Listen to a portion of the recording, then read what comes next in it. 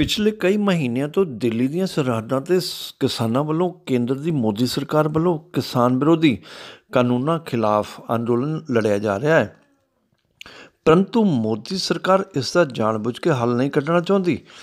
ਇਸ ਲਈ ਮੋਦੀ ਸਰਕਾਰ ਦੇ ਕਿਸਾਨ ਵਿਰੋਧੀ ਕਾਨੂੰਨ ਰੱਦ ਕਰਵਾਉਣ ਲਈ ਸੰਯੁਕਤ ਕਿਸਾਨ ਮੋਰਚੇ ਵੱਲੋਂ 26 ਮਾਰਚ ਨੂੰ ਸਵੇਰੇ ਤੋਂ ਸ਼ਾਮ ਤੱਕ ਭਾਰਤ ਬੰਦ ਦਾ ਸੱਦਾ ਦਿੱਤਾ ਗਿਆ ਸੀ।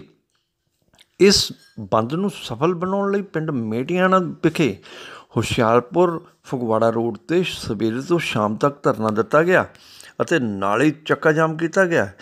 ਇਸ ਵਿੱਚ ਇਲਾਕੇ ਭਰ ਤੋਂ ਸਮੂਹ ਜਥੇਬੰਦੀਆਂ ਨੇ ਸ਼ਿਰਕਤ ਕੀਤੀ। ਉਚੇਚੇ ਤੌਰ ਤੇ ਕੇਂਦਰ ਸਰਕਾਰ ਵੱਲੋਂ ਲਿਆਂਦੇ ਕਾਲੇ ਕਾਨੂੰਨਾਂ ਦੀਆਂ ਕਾਪੀਆਂ ਵੀ ਸਾੜੀਆਂ ਗਈਆਂ। ਇਸ ਮੌਕੇ ਵੱਖ-ਵੱਖ ਬੁਲਾਰਿਆਂ ਨੇ ਸੰਬੋਧਨ ਕੀਤਾ, ਜਿਸ ਵਿੱਚ ਜਗਤਾਰ ਸਿੰਘ ਭੁੰਗਰਨੀ ਨੇ ਸਟੇਜ ਸਕੱਤਰ ਦੀ ਸੇਵਾ ਬਾਖੂਬੀ ਨਿਭਾਈ।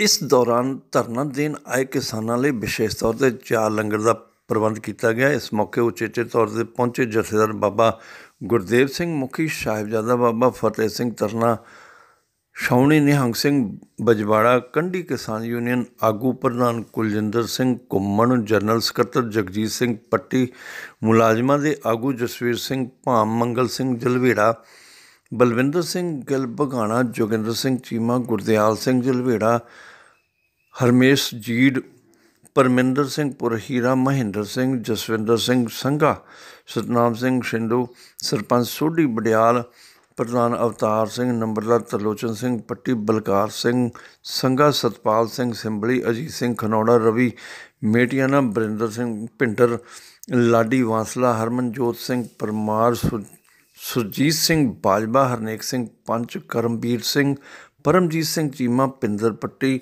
ਤੋਂ ਇਲਾਵਾ ਭਾਰੀ ਗਿਣਤੀ ਵਿੱਚ ਕਿਸਾਨ ਹਾਜ਼ਰ ਸਨ। ਵਾਹਿਗੁਰੂ ਜੀ ਕੀ ਫਤਿਹ। ਮੈਂ ਬਲਵੀਰ ਸਿੰਘ ਫੁਗਲਾਣਾ, ਪ੍ਰਧਾਨ Doaba general category front Punjab.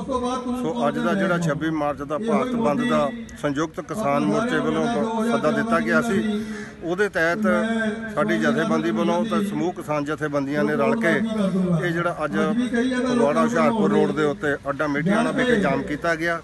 ਔਰ ਪ੍ਰੋਪਰ ਸਾਰੀਆਂ ਦੁਕਾਨਾਂ ਤੁਸੀਂ ਦੇਖ ਸਕਦੇ ਹੋ ਵੀ ਦੁਕਾਨਾਂ, ਜਿੰਨੇ ਵੀ ਦਫ਼ਤਰ, ਜਿਹੜੀਆਂ ਵੀ ਫੈਕਟਰੀਆਂ, ਇਹ ਵੀ ਸਾਰੀਆਂ ਬੰਦ ਨੇ ਔਰ ਬਹੁਤ ਵਧੀਆ ਜਿਹੜਾ ਵੱਡੇ ਲੈਵਲ ਦੇ ਉੱਤੇ ਇਹ ਜਿਹੜਾ ਹੁਗਾਰਾ ਮਿਲਿਆ ਆ ਕਿਸਾਨ ਜਥੇਬੰਦੀ ਨੂੰ ਔਰ ਕਿਸਾਨ ਜਥੇਬੰਦੀ ਜਿਹੜੀ ਆ ਕੇਂਦਰ ਸਰਕਾਰ ਦੇ ਖਿਲਾਫ ਇਹ ਜਿਹੜੇ ਸਾਡੇ ਮਜਾਰੇ ਆ, ਜਿਹੜੇ ਉਹਨਾਂ ਨੇ ਇਹ ਤਿੰਨ ਕਾਲੇ ਕਾਨੂੰਨ ਲਿਆਂਦੇ ਆ, ਉਹਨਾਂ ਨੂੰ ਰੱਦ ਕਰਾਉਣ ਲਈ ਇਹ ਜਿਹੜਾ ਪ੍ਰੋਗਰਾਮ ਲਿਖਿਆ ਗਿਆ ਗਾਂ ਵਾਸਤੇ ਵੀ ਜੋ ਕਿਸਾਨ ਸੰਯੁਕਤ ਮੋਰਚੇ ਵੱਲੋਂ ਸਾਨੂੰ ਸੰਦੇਸ਼ ਆਊਗਾ, ਉਹਨੂੰ ਅਸੀਂ ਇਨਵਿਨ ਪਾਲਣਾ ਕਰਾਂਗੇ ਤੇ ਕਿਸਾਨਾਂ ਦੀ ਲੜਾਈ ਦੇ ਵਿੱਚ ਵੱਧ ਚੜ ਕੇ ਸ਼ਾਮਲ ਹੋਵਾਂਗੇ।